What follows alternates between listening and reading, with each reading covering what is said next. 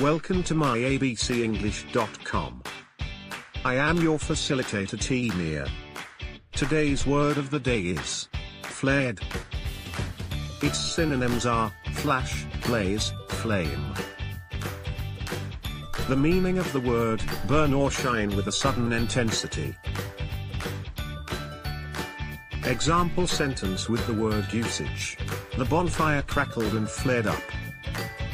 Don't forget to like and subscribe to the channel to learn a new word every day.